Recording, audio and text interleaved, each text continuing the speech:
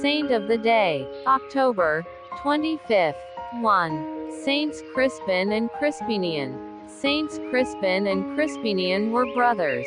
Together, they evangelized Gaul in the middle of the 3rd century. Working from Soissons, they preached the streets by day and made shoes by night.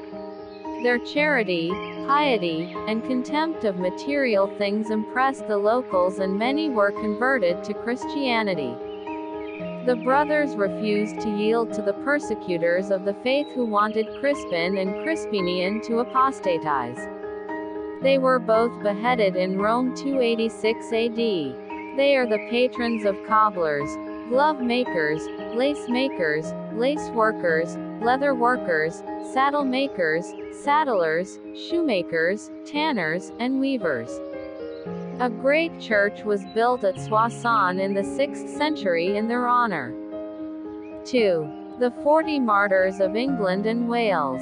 This feast, the Feast of the Forty Martyrs of England and Wales, honors the hundreds of British men and women who died for their faith in wake of the dispute between the Pope and King Henry VIII during the 16th century.